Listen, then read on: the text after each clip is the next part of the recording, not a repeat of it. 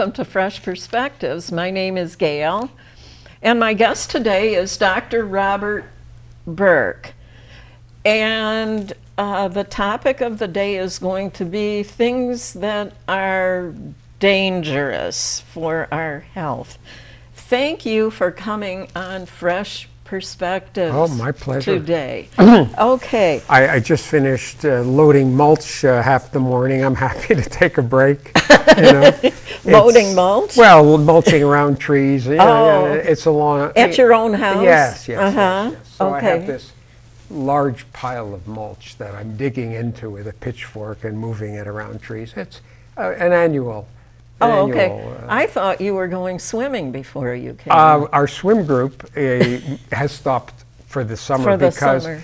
Because the institute we swim at the at Turner and the institution starts to get busy now. So, Oh, okay. And we have a really active group with Coach Roland Bill Rollinger, the former uh, swim coach at, uh, at Jamestown High School. Who's Oh. We have like 20 something people who swim every Saturday morning. Mm-hmm. Five of us are Ironman competitors. Then there's uh, master swimmers Mm-hmm. and uh, people who have swum competitively before, and some people who just come and swim with us because they want to learn how to swim better. But it's a fairly um, competitive group, and we swim, you know, really hard for an hour, and then go out and eat afterwards. Oh, oh, yeah, we yeah. eat hard for an hour afterwards as well. and then the phase three is sometimes a nap in the afternoon Oh, it's a pretty hard workout. But anyway, uh, it's a gr- we've been doing it for. I started with him in must be 2010. He was training someone for an Ironman event, and I was training for one. And then we added, we kept adding people, kept adding people, and now we're up to 20. All walks of life, you know, doctors, lawyers, uh, teachers, uh, artists, uh, uh, just incredible people, you know, who are just there. We have fun with each other, you know, and it's a good, good group. You know, it's one of those communities that you, Yeah, you have that you yeah. look forward to spending a little time with. yeah, I have people that I spend an afternoon or an evening a month with. Do you know that one, up to between 16 and 30 percent of the population are now nons?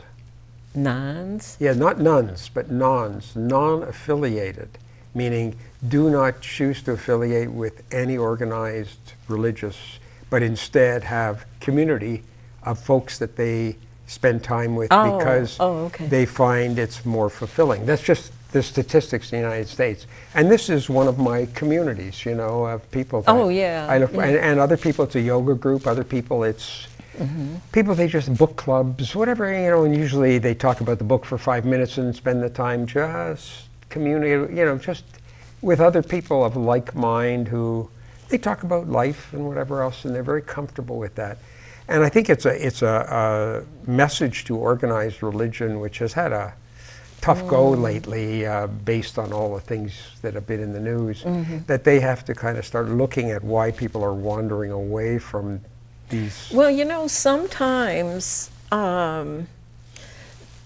the particular religion that, uh, or denomination or Hmm. whatever that people are, um,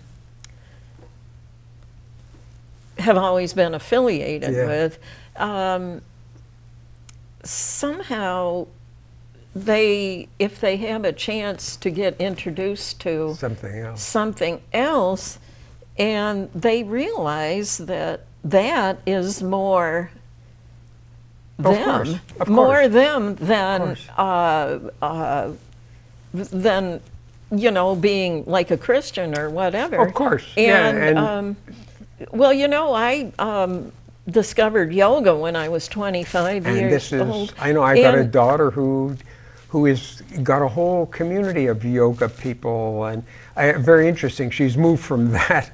Uh, she's uh, from a, a family of mixed religious backgrounds, and uh, she went to Israel on, on what's called the Taglit. One of her parents, me, is Jewish, and Oh, I didn't know that. and she and she um, so she went to Israel. We we don't. My wife's brought up as a Catholic, though she's not a practicing Catholic Mm-hmm. anymore. And our kids, we ex- expose them to everything. You know, just every holiday they, you know, when it's Passover they know what that is. When it's Easter they know what's that. When it's Christmas they know what's that. It's just to show them what all the different beliefs are. And she went there with a group of people and has become quite spiritual uh, with a whole group of people in Denver who are of, of the Jewish faith, but it's much more a spiritual thing, which is quite uh, amazing because she went from a yoga group to this, and it's, it's just interesting. And you're right, people find what is most comfortable for them, and there's no one way. I mean, eh, whatever way you choose, it's your own. Whatever makes you comfortable in the world is what counts. Uh, I think um, what we're seeing is that each of the religious groups has their fanatics at one end or the other, and somewhere in the middle is some common ground of a belief in something. And, and you've got to find that and be comfortable with it. And, and, and it's not my business to tell you what to do about No, it. And, no, or you tell me, No. I, I've got to find my way and you find your mm, way. right, And, right. it's, and as long as the ultimate thing is we treat each other well and we, mm-hmm. we, we, you know, you can get up in the morning and feel good about how you're mm-hmm. carrying on your life. I, I think that's the important thing. Well, But- you know, hmm. um, getting into yoga because I felt it was, it sounded like something that I really Mm-hmm. needed, but I that led me to being able to um, go and spend time in an ashram Mm-hmm. with swamis and, and Brahmin priests. And you know, that uh, getting involved in that felt like coming home for the first time. I- But this is what You know. I, I think. I, I, used, I have a lot of friends in, from a previous lifetime in Canada who went and did the same thing. And they came back with Indian names and a whole thing, you know. And again, it, it's whatever Mm-hmm. gives you the peace and the, and also uh, some um, understanding of where we all are in the world, you know.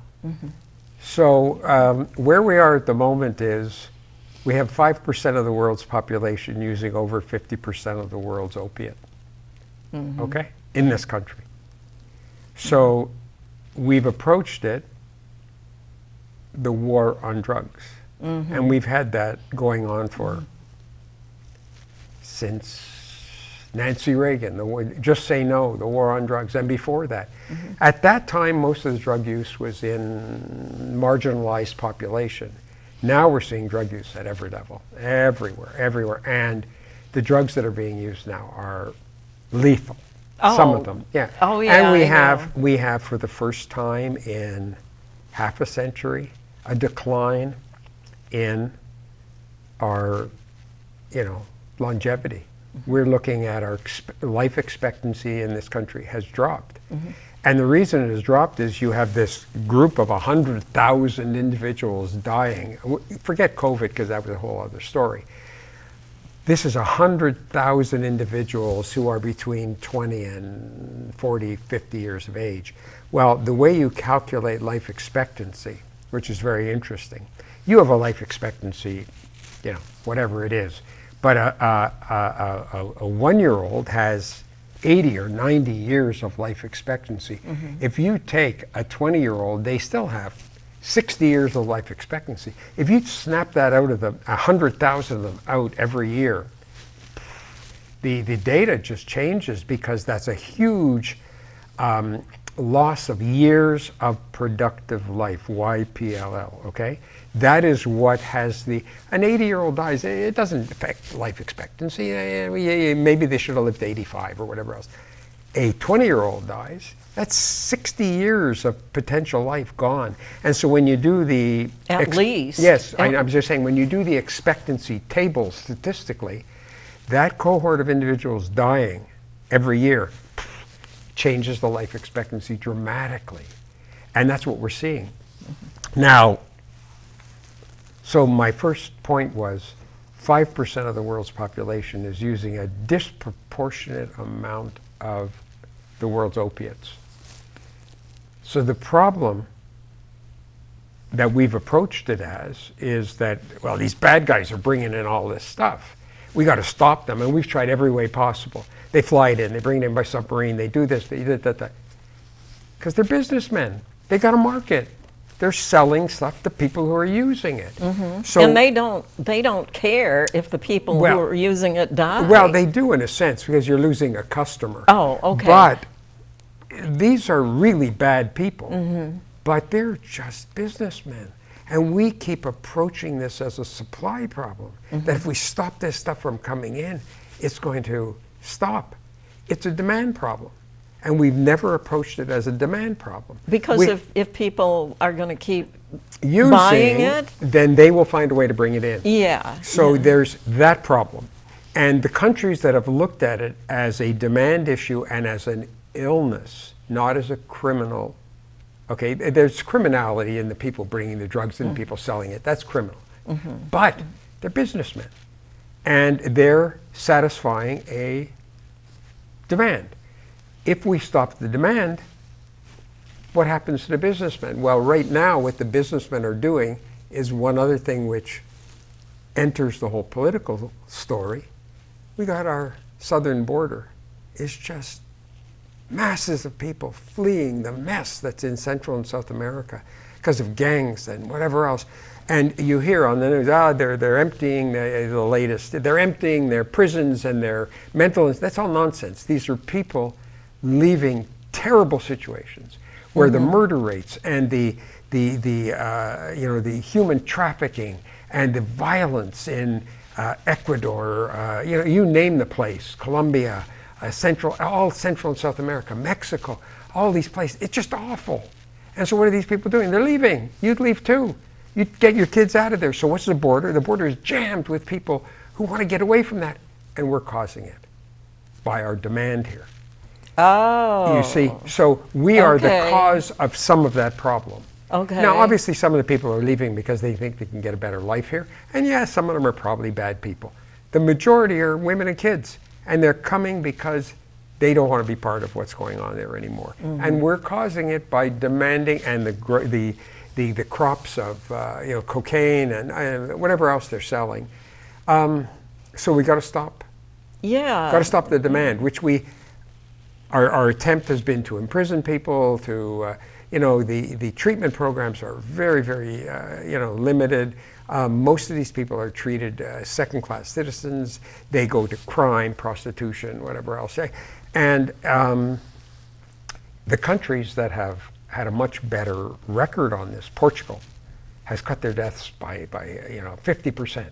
What they do, they created it as a, a medical problem, and they approach these people as sick, and they, um, you know, everybody has this idea that drug users are out there just shooting up and nodding off and having a great time. The majority of drug users are just looking for some way not to go into withdrawal. If you stop using an opiate within a certain number of hours, that opiate center in your brain receptor is screaming for more opiate and you start to get nauseated, the shakes, and you have to use more opiate. And so they're sick. And they have unfortunately trained their brains, probably permanently, to be opiate dependent. And um, the best programs that work are the programs that do uh, risk reduction and also substitute. Methadone is one substitute, Subutex or Suboxone is the other. They're very effective. Um, and so if you were a diabetic, I'd be giving you, let's say you were an insulin dep- dependent diabetic, I'd be giving you insulin. Mm-hmm. If you stop using insulin, you have a problem. Mm-hmm. Well, if you're an opiate addict, if you stop using opiate, you have a problem. Mm-hmm, and so our, our best approach is not to throw them in jail, but to put them into programs where we replace what they're getting on the street with safe, managed programs. Obviously, counseling, um, provide them with health services, all the social fabric, which is gone by the time you get to them when they're in jail because they've stolen from everybody in their family and all their friends, and they've gotten into trouble, and they've, you know, eh, prostitution and eh, the whole business, which can help. They're desperate to continue not going into withdrawal. Now, yeah That's so that that's the issue for us, and it's a terrible problem because it ruins families and ruins individuals. And where it used to be 40 years ago, 50 years ago, in the poorer segments of the population, it's now everywhere. You see children of very, very well-to-do families dying, children of, of families of means, uh, middle class, upper class. It doesn't matter. And unless we get our heads around this, we'll continue to have the problem. We have to address that it's an illness and it's a chronic relapsing illness, mm-hmm. much like alcohol. Alcohol. Yeah. So the program with alcohol, which has worked, is not to throw these people in jail, but to get them into counseling, get them into AA. Uh, you have to get them onto medications that stop their craving, uh, and it's a lifelong support system. Many, many failures. Uh, same thing with cigarette smoking. Cigarettes. Oh. Cigarettes kill yeah. 420,000 Americans every year. Yeah. 420,000. Uh, a third of them die of lung cancer, a third of them die of emphysema, a third of them die of early heart disease. Yeah. Um, you know, I've seen ads on television, anti smoking type mm-hmm. of ads over the years. And uh, they have even, uh, some people have said uh, that their smoking habit has led to things like actually losing legs. Oh, of course, and, of course, because like it that. causes vasoconstriction. And in people who already have some arterial narrowing, when you smoke a cigarette, it, it causes even more. And ultimately, yes, you can. It, it, causes arteriosclerotic disease, and early heart attacks are one thing smokers get. Mm-hmm. Um, and nationwide, there's been a, a, rather good program using a risk reduction model for smoking. So we're down to about 16% of the population smokes. In Chautauqua County, it's over 20, 20 something percent. It's just still mm-hmm. a, a, very difficult problem. And now you've got vaping. You know, you, you know, so this is an industry that is just morphing to continue to sell their right. product. Right. Now, that was one thing I wanted you to, to ask you uh, so that the viewing audience um, could hear. Now, I have heard young people saying they had been smoking and then they switched to vaping because they didn't feel that it that they felt that it was safer than smoking. But from my point of view, it's probably just as bad, isn't it? Well, it's hard to say because we have a much longer view on smoking than we do on vaping. Mm-hmm. Uh, 1961 or 62, the Surgeon General's report came in on smoking because they had data. Mm-hmm. Uh, and the data are, are, just ongoing of 420,000 Americans die every year because they smoke. Mm-hmm. Uh, vaping, we just don't have that long view. Mm-hmm. We know and, and, and, cigarette smoking, of course, the, you have not only the hot tars and nicotine going in, the nicotine being the addictive substance, right. which causes constriction of arteries, but it's the hot tars and all the other chemicals in cigarettes that are, are the problem that give you the emphysema and heart, heart disease, lung disease, lung cancer. Vaping, you know, of course, they, the product is slightly different. Um, but it's thought to be a gateway to smoking, you mm-hmm. know. Um, and of course, you're still breathing in something into your lungs, those beautiful right. lungs that you right. were given when you right. were born that just do such a, you know, people don't realize the work that that lung is doing for you. Well, you know? you know, I don't know if it's not common knowledge or what, but it's my understanding that in the lungs and the esophagus, there's hairs called Mhm. cilia. Cilia, yeah. And it uh, smoking burns away the Well, cilia. Well, remember, you're breathing in very hot, uh, you know, tar and nicotine and all kinds of 5,000 different chemicals in the cigarettes. Yeah. Um, it, basically, what finally happens with smokers is, uh, uh, let's leave lung cancer aside because that's uh, another story. But their elastic tissue in their lungs starts to deteriorate, and so their lungs get bigger, but can't. When you breathe, breathing is a very interesting phenomenon. You exhale without any effort Mm-hmm. because the elastic tissue in your lung does it for you. Mm-hmm. You inhale by dropping your diaphragm. So a smoker has able to drop their diaphragm and get air in, but they have they can't get the air out, so they trap a lot of air. And people with Oh. emphysema have bigger chests, and they can't move air either way because they they don't have the elastic tissue anymore. So they've damaged their lung tissue, and you look at the X-ray of a, someone with emphysema, the lungs are like, uh, and there's not much air moving. So Yeah. uh, there's a lot of damage that goes on, fibrosis and um, Well, I was just scarring. Gonna, I was just going to mention that I knew somebody that I knew uh, died of pulmonary fibrosis. yeah, that's a different condition. is that Yeah, that's a, a weird condition where people, their lungs become fibrotic and inelastic, and uh, uh, they just it's very. I, it's interesting because when I have medical students with me and I have a patient with pulmonary fibrosis, I have them listen because it sounds just the same as someone who's in heart failure. You hear in heart failure, you hear rowels, except these rowels sound like Rice Krispies when you pour milk on Rice Krispies, Oh. snap, crackle, and pop. Wow. It is a. It's like Saran wrap, and that's the sound you hear in there. And they, they yeah, that's a terrible disease. The only treatment is lung transplant for pulmonary fibrosis. It's a Oh. bad disease. Oh, yeah. But it's not the same as emphysema. Emphysema is a, a, a purely a cigarette-related or a um, other people. Yeah, I mean, there are other conditions which can give you emphysema, silofiller's disease, farmer's lung. There are a bunch of other ones. Uh, black lung? anyway, it's but tobacco is the major issue, and that people are still allowed to smoke today. That this stuff is allowed to be sold when it's killing so many people is totally unbelievable. But that's another story for another day. Oh, okay. Uh, well, I wanted to bring up, well, uh, we're on smoking stuff. Um, I wanted to bring up um, nowadays, nowadays you're hearing they're working towards making recreational marijuana legal and like that. And, um, but then again, uh, you're inhaling stuff into your lungs that is not oxygen. And basically, oxygen is the only thing we're supposed to be able be able to breathe Or should be breathing. should be breathing Yes. into our lungs Yeah.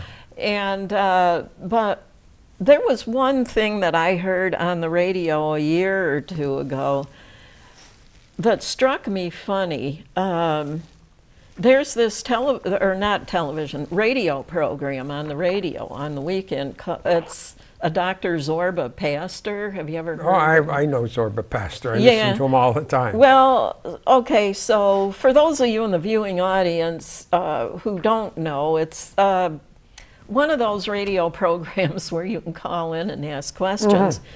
And one time when I was listening, um, this guy called up and uh, he said uh, he wasn't smoking pot. What happened was, on his lunch break from work one day, he drove over to his mother's house to um, get something to eat, I guess it was. And he gets there, and her, his mother's not home.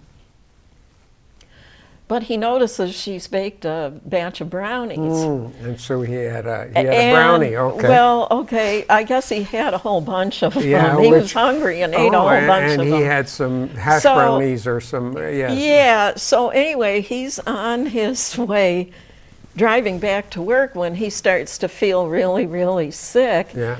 And he pulls, he gets to where there's a gas station and he pulls in there and passes out. Okay, so um, when he came to, he was in a hospital. And, uh, and uh, that was, so anyway, they had done But- some, while he was unconscious, they, They done, did some tox screening on him and found yeah, that he had they uh, found cannabis. out that yeah. he had Sure. a huge amount of Yeah.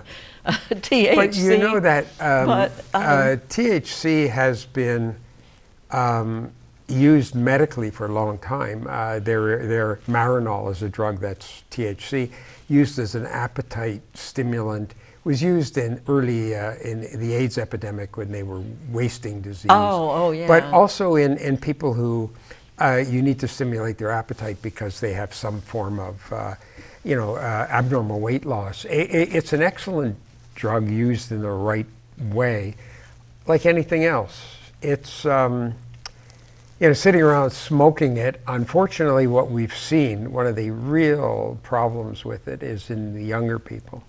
Um, vaping it or smoking it before they have developed a full sense of mature brain, you know, or mature Oh, of oh, yeah. reality. And you see these lost souls who never, never go through that part of life which we've all gone through, where you, you, you know, you make mistakes, you, you, you know, you fall down, you get up, you're doing it, you know, eh, growing up as eh, whatever until you're about 25, you're, you're, you know, you just you're learning. Some people just never get there because they've started um, at age 10 smoking, and are- it, it changes your. This is all brain chemistry, and um, the difference between you smoking, you know, some some marijuana and a 12-year-old is is enormous because of your concrete sense of reality and everything else. There's just now, I'm not saying you should or shouldn't, but the use of uh, THC um, in gummies for sleep people who can't sleep. Oh, yeah. Um, the use for people who have uh, cancer, who need uh, appetite stimulant. I mean, there are uses. These drugs have been around for a long, long, long time. Unfortunately, like anything else, uh, it's uh, you know it's thought to be a gateway drug for young people to start and then move on to other things, and probably um, you know we have to be very careful with these things. And now you're finding they're all laced with uh, cocaine and fentanyl and all that. Uh, and this is a whole other story. Um, really dangerous street drugs are, are now extremely dangerous. What amazes me is that, because you brought this up, how can someone be selling drugs to people knowing that it's going to kill them? You're killing your, your clients. And this was happening with fentanyl. The fentanyl overdoses are brutal and they're lethal. It is an um, incredibly lethal substance. Now, it's used all the time in the operating room um, for conscious sedation, uh, for colonoscopies. I mean, all these, you know, people use a little bit of fentanyl uh, in, in the in surgery all the time as part of the sedation uh, for people who are undergoing surgery. That's totally different from what you're finding here. The stuff that's in, you know, what's out there on the street is lethal. And the overdoses are, le- and we use Narcan on these people, and you have to use dose after dose after dose because it's so potent. Uh, it's amazing. You know, um, I've noticed uh, when we're traveling on a throughway type of road, so when you have to go to the bathroom or something, you go to a rest stop. And I have been noticing in the public restrooms now, you will see a white metal box. And in red lettering it, um, on the box, it will say that Narcan supplies are in the in Yeah, the box. yeah, So, I mean, are people driving their cars Oh, whi- of course, of while course, of course while they are. are Of course they are. they're taking an Of overdose of a drug? Well, they don't know it's an overdose. You know, Uh, so, you know, when you're you buy some marijuana on the street, you don't know what's in it. Mm-hmm. Um, anyway, i i it's it, the problem is so large that we can't. I mean, we have to get our heads around this because it is just sapping the, the, the lifeblood out of this country. So I'm going to ask you a question because you've been asking me questions. okay. Did you ever buy an Edsel? No. You know what an Edsel was? a, a car? Yes, it was a car produced by Ford. Uh huh. It was amazing car at the time. They made 250,000 of them. Mm-hmm. No one bought them. So Oh what'd they my do? gosh. So what'd they do? Quit making them. Exactly because there was no demand. Mm-hmm. There's the lesson. Okay. if you have no demand, the supply goes away. Now everybody thinks there are guys on the street corner enticing our kids to try this and blah blah. blah. Yeah, sure, but the supply goes away if there's no demand. Mm-hmm. And the Edsel went the way of the dodo bird. You know, it's gone. It's extinct. It didn't because no one bought it. Mm-hmm. Well, we got to figure out a way to stop people from buying it here, and the supply will go away. Yeah. Now, that's a very simplistic way of looking at supply and demand. Well, a But- lot, a lot of people do things because of peer pressure. I I understand all that. This is all a question of education and of support and of treating this as an illness and going after everybody who's using and trying to help them get off the, the they're on a merry-go-round. They have to keep using because they're going into withdrawal. Withdrawal, you don't die from withdrawal. You just wish you would die, it's so bad. Alcohol, if you go into alcohol withdrawal, 15% of people die with it. It's, it's a lethal, but with most pure heroin, the, the, the withdrawal is just awful. So people just keep buying it, and then they run out of money, then they steal, then they, yeah, yeah, it goes on and on and on. So we have to stop that because that's the way to stop this.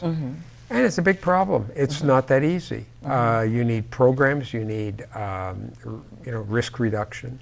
You need. I mean, in our in my office, I have we we we, we uh, prescribe Suboxone. I have 60 or 70 patients who come in. No one knows who they are. They come in.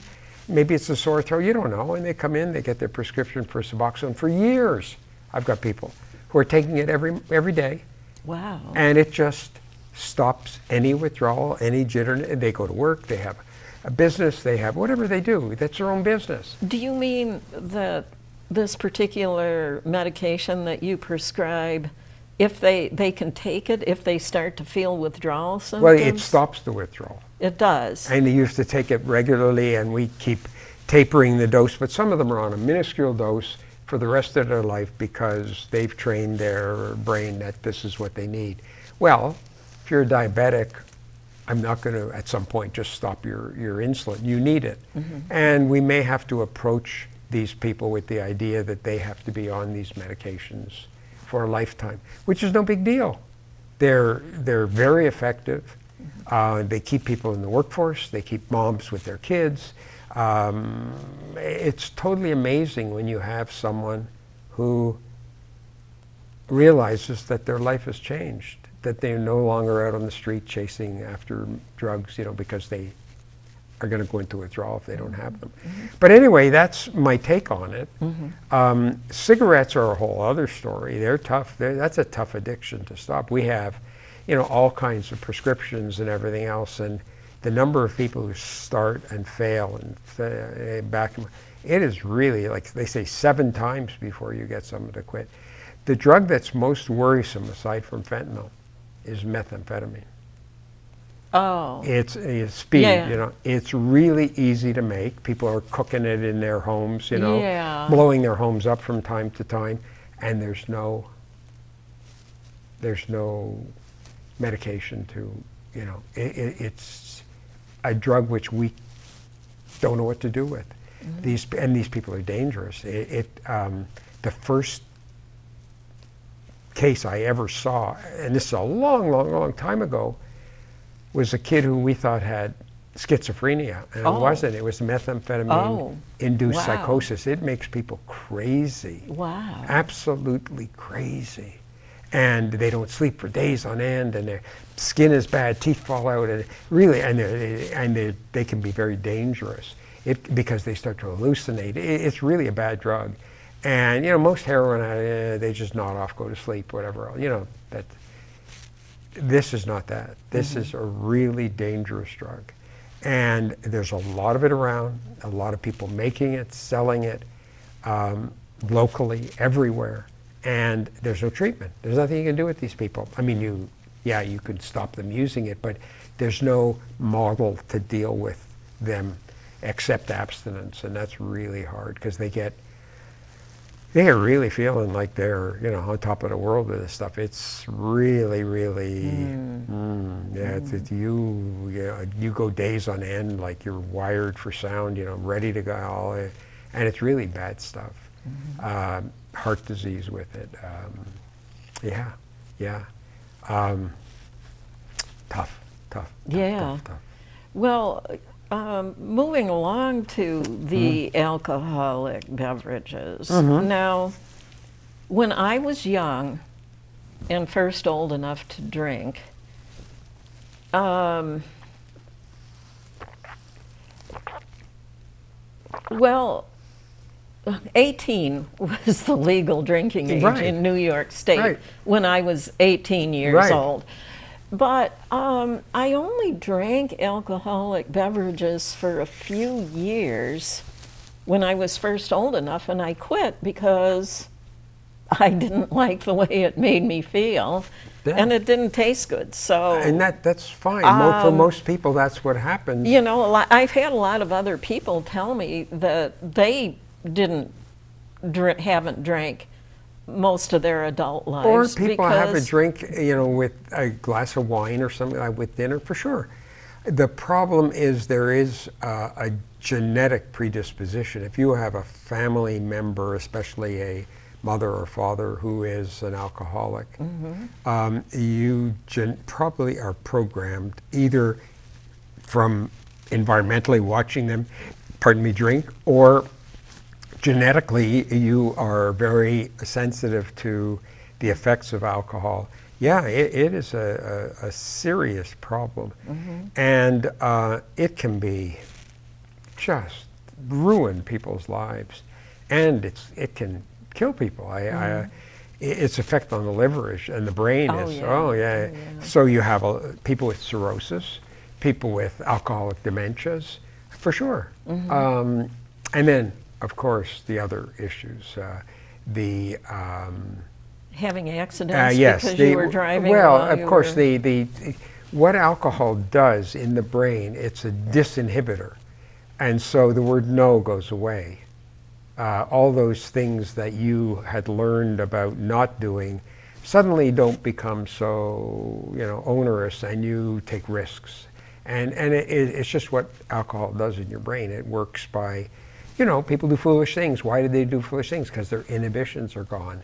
How it works in doing that is, is rather interesting, but that's why people drive when they're drunk and they shouldn't you, you, you know you shouldn't be driving when you're tired when you're you've had a drink when you're uh, you know you, you, uh, other things you know but you do it anyway because you don't think you, you've lost all re- the reasons to go away and the, the inhibition goes away it's it's a potent disinhibitor and so people do foolish things mm-hmm. and they get into trouble and then you have of course the suicides the firearms the you know all the, the things that go on when and the mass shootings.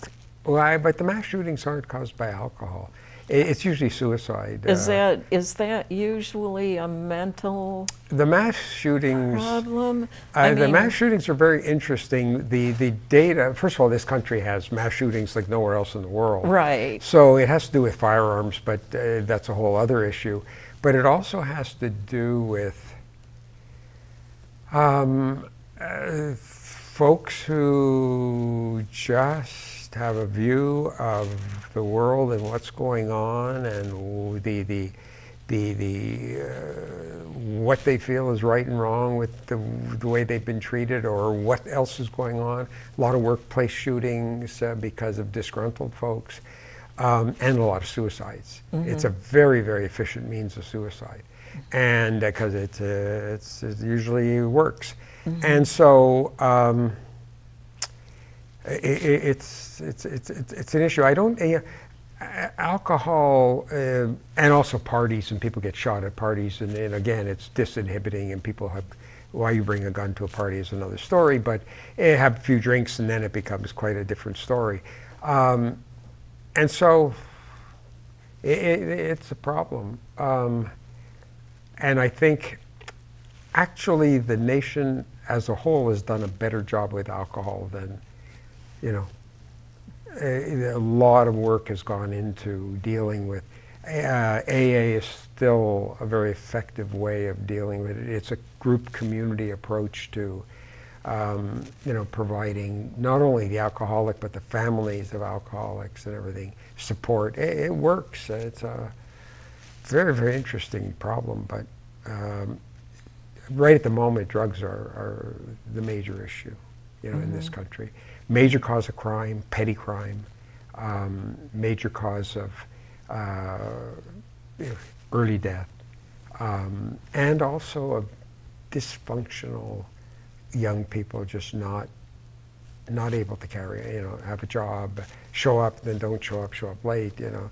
Uh, half the guys working out there on certain jobs are probably not exactly um, sober Oh, either, not from alcohol, but from, you know, lots of things. lots, of things. And, and, and so workplace accidents or absenteeism or um, just lack of attendance. You talk to everybody these days. You can't get people to show up to work. Um, one third of the people showing up for a job can't, can't pee in a bottle without showing something in there that shouldn't be there. What, what's going on? What's the, what's the discontent? What's the problem? Um, I don't know. It's, it's, it's an interesting issue. Um, but as a nation, we have to come to grips with it. We can't continue to approach it in a puritanical sense of these are bad people. These aren't. These are our sons and daughters, mothers and fathers, who have a medical problem. Maybe it began because they broke their ankle and started taking opiates and couldn't stop. Even after the pain was gone, they just were addicted. Uh, that's a certain percentage of the population. Yeah. And the blame game for doctors prescribing and, and all the oxycontin, you know, that whole thing, yeah. Uh, we were taught that pain was the fifth, uh, you know, uh, uh, you know, essential, uh, you know, you look at uh, the vital signs, and pain was a vital sign, and we had to make sure people weren't in pain. Um, and then, oh, these drugs don't, yeah, they're very safe. Well, they weren't safe. They're very addictive. And yes, so there's a certain segment of the population that got hooked with that. But there's also this other whole other issue going on out there, you know. Uh, people just, a whole subculture using drugs and, uh, uh, you know, same person getting Narcan four or five or six times by the police who find them overdosed. tough, tough world. And I am, Well, you know, there, um, there are some other things that I tried to do when I was young, but couldn't continue with them. Just because, uh, well, apparently I'm sensitive to certain things, not just the alcohol, but caffeine. I can't, I can't handle caffeine, so I've, uh, most of my life, I have not been a coffee drinker, just because it makes me so nervous and would make me so nervous and anxious. but that, that's, that's okay. That's, I can drink a cup of coffee before I go to bed. It doesn't do anything for me. I, I, it's, we're all different, and it's okay. And what you have to do, and part of growing up in this world, is knowing what works for you. Mm-hmm. As you said, you, you went and did yoga and found a whole different part of you. a whole that- different yes. way of life. Yes. Well, Yeah. I, I, I go out for a bike ride or a run, and I'm lost for a while, just in another world in my head, you know, of just a place which is peaceful and quiet, and I can sort out things that I haven't been able to sort out because the distractions are gone. And so uh, I, I can remember there was a Facebook comment by a patient of mine. Yeah, he just wants me to go to physical therapy. He thinks that, you know, he's just an exercise freak. I'm not an exercise freak, it just makes me feel good. And physical therapy is a wonderful way of finding ways to, help yourself. to help yourself. Yeah. And it's not just pain meds and drugs and everything else. There's a certain amount of work that goes into looking after yourself. Well, you know, it's a funny thing about the caffeine. Um, some friends of ours gave us one of those big, I think, those big chocolate bars, you know. Yeah. Uh, they're going, it, it was a gift. It was part of a Christmas present from them. And um, they go, oh, it's really good for your health. Well, my husband and I um, sat down to lunch one day and uh, he, he kind of wanted to eat a little bit of this chocolate bar. And this is at lunchtime, mind you. Um, this was not in the evening or anything like that. And you couldn't sleep that night Not um, because there's caffeine in it. They make they, it was ninety-two percent. Uh, well, they do that use- I know they- ninety two percent cacao. Well, they do- they and do- all I had was I two know, little but they tiny do, squares. They do use some caffeine. I mean, at least some some chocolates do that.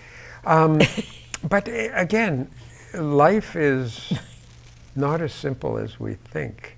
It's actually I'm reading a fascinating book Well, at the moment. Yeah, you uh, about you life. have to Yeah. figure these things out on your own. But- but what I- was it? Um, I'm reading about. Let me just tell you about this book I'm reading. Okay. Okay.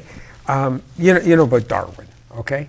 I Yeah. was just in Australia, and, and, and Darwin. I, I told you I saw this plaque Mm-hmm, that Darwin had been there. Well, Darwin came up with this theory of you know uh, that um, it's selection of the fittest, and, and these these traits are passed on, uh, and then that's been common thinking for quite a while. And Mendel, the, the, the monk, did Mendelian genetics, and you share, you know, and, and the different. Well, I'm reading this book, uh, David Anuman, I think his name is, and it's about, it's called The Tree of Life, okay? The Tangle Tree, sorry. The Oh, the Tangle Tree. yeah. And people started to look at this and say, wait a minute, there's more to this than we think. And then there were people who were splitting RNA and looking at it in DNA and looking at. Do you realize your mitochondria, which are the little work engines in your cells, originally came from bacteria and somehow got into our cells and are, however long ago, and now our cells use these little work engines to produce energy and chlorophyll got put into plants somehow, you know, and, it, and they've looked at the DNA of these little organs in, that we use in our cells, and they come from other places. And it's this whole very complex arrangement that isn't so simple as your mother and father and uh, the, the, the genetics and the survival of the fittest and everything else, that we have adapted to this world by borrowing. And do you realize that in your gut you have billions of bacteria? Mm-hmm. And they are sharing information between them, not only by splitting like you, we would, but by passing it through their cell walls. Uh, you know, and, and, and, and that's how we're getting all this drug resistance because they're giving this information to each other. And there's a whole much more complex process going on than we think than just what Darwin said, though he started the game, you know, of us thinking about this. But it's fascinating. And so, yes, you can't tolerate caffeine, and I could, it doesn't bother me at all. And you could probably, if you broke your leg, take an opiate because you had pain. I broke my arm, I fell off my barn roof, shattered it. It was uh, 1998. One hydrocodone, five milligrams at bedtime would stop it buzzing.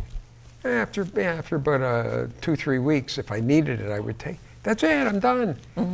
Other people, it's all they need to take, and they're on the, they're on the merry-go-round.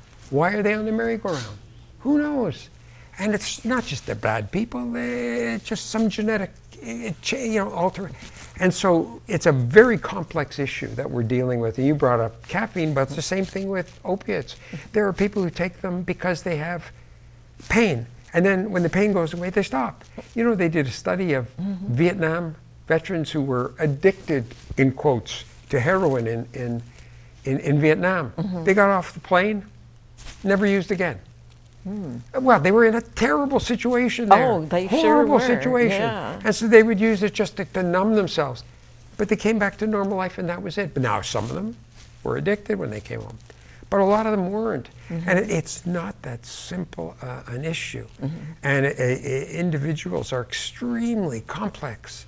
And what, and it's a complex of nature and nurture and how you were brought up. And even brought up in the best of homes, you get addicts. And you get, in the worst of homes, you don't get addicts. And people whose both parents are addicts and they don't, you know.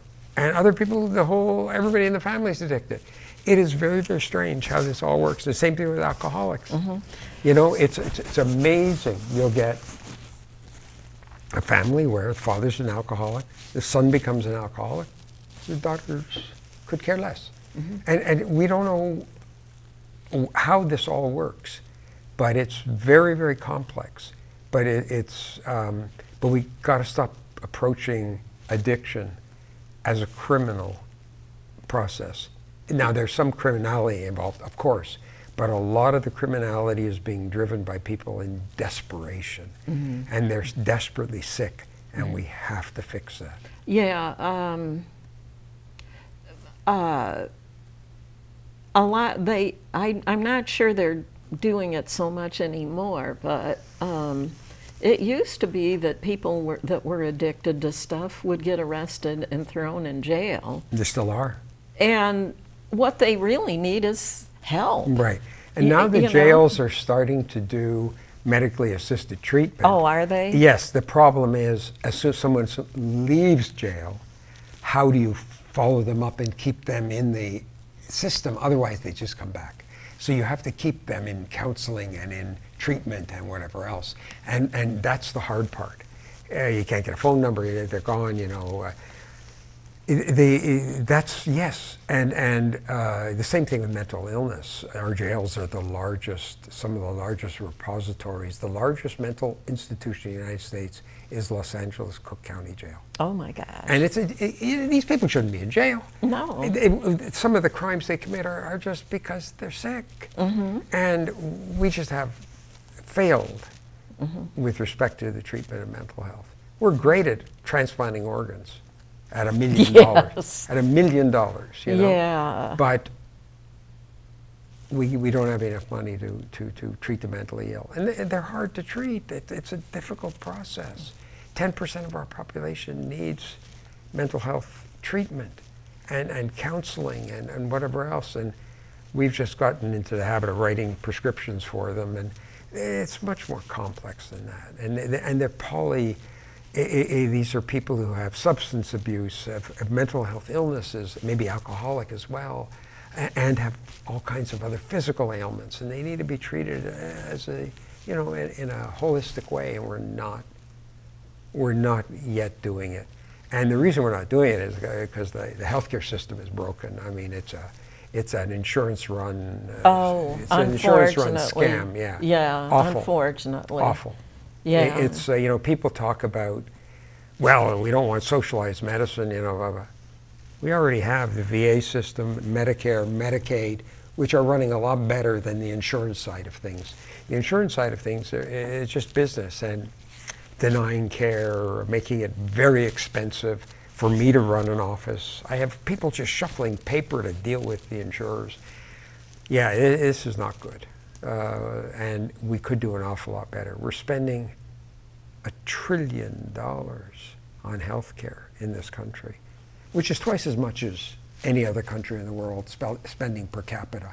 And you know what our results are? We're 19th in the world in infant mortality, which happens to be the most sensitive indicator of how well you're doing. And we're 19th behind Croatia. I mean, give me a break. 19th when we're spending twice as much as anywhere else. If you ran a business where you were 19th in your amongst your competitors spending twice as much, you'd be out of business. Yeah. And so,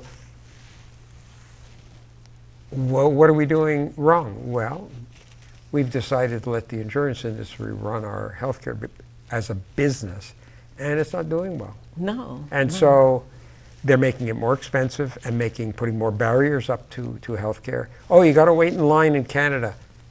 Uh, their numbers there are better than ours. So waiting in line isn't the issue. It's they spend half as much as we do and have better results. It wait a minute. Same thing in Germany. Same thing in France. Now, are they perfect? No. They have their own problems. But for the average Joe or Jane, it is a better deal. Here, you talk to people, they're going, this is the only country in the world you can go bankrupt if you have an illness. Right. Bankrupt. That's Yeah. craziness. How can you go bankrupt?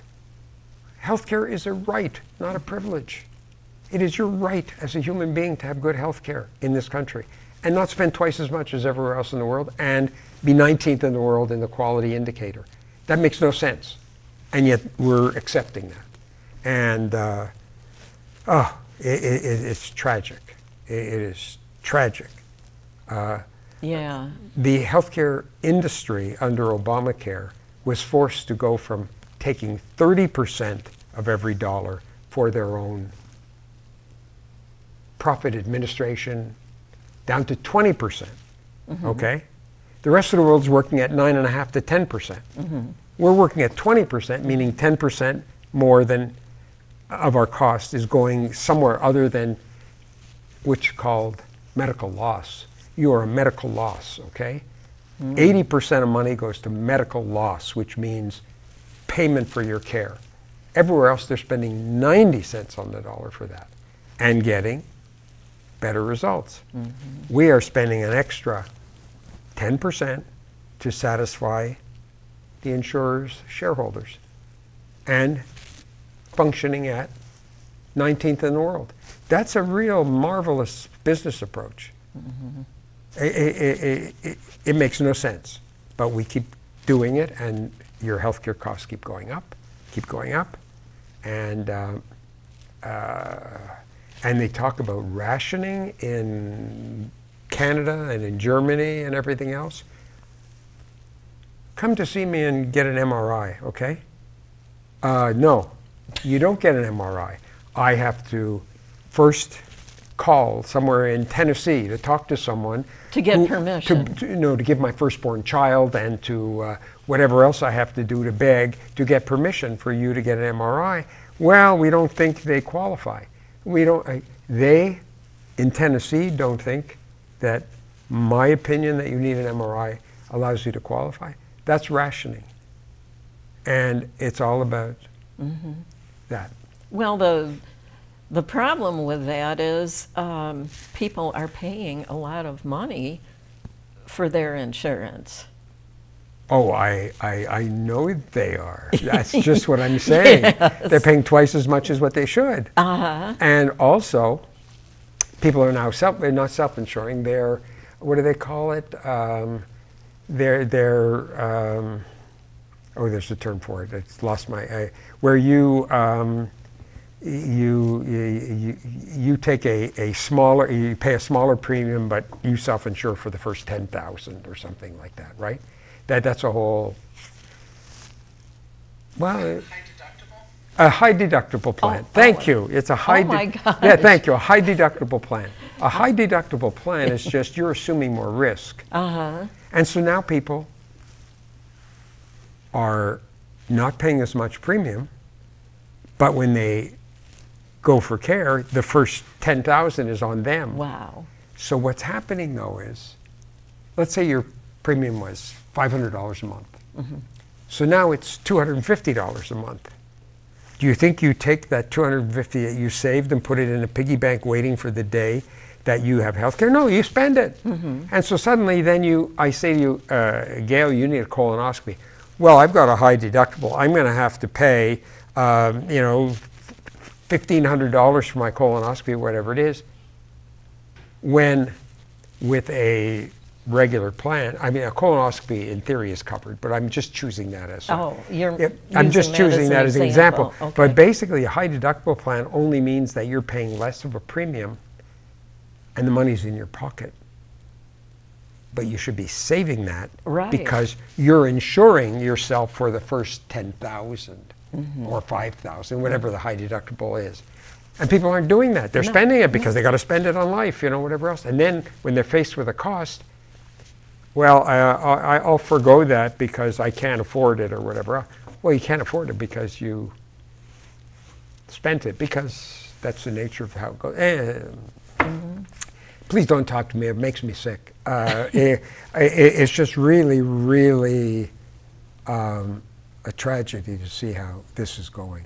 I- It's um, and people are just screaming about the cost, and no one's doing anything about it. Except you see that the price of insulin is now thirty-five dollars. They've, of course, of course, because if you go anywhere else, that's what the price is. And uh, why was it so much more before? Uh, because um, The pharmaceutical people we're making more money. We're making it, and you look at their profit margins; Uh-huh. they're incredible, totally incredible. And you look at the inflation rate we have. Look at the profits of all the major companies, and you know, they're amazing. But we're still going to the grocery store and paying Mm-hmm.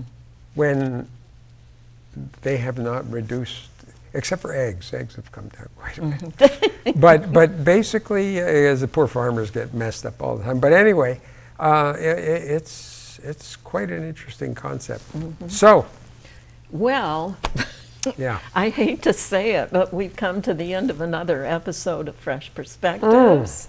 And thank you so much for appearing on Fresh Perspectives my today. my pleasure. And we will have to do that panel discussion with you and Bill Ward and what was his name? Jim Fincher. Jim Fincher. Okay. Yeah, Yeah, that'd be great. okay. It, it, it would be uh, uh, the the zenith to the nadir, the apogee to the perigee, the beginning to not the end. But Mm-hmm. uh, Bill is now the president or the uh, of, of uh, the Rail Trail organization, and I was at the beginning, and Fincher. I'll, was I'll in the see middle. those of you in the viewing audience when we do the next episode. Well, it, it was uh, it was an amazing.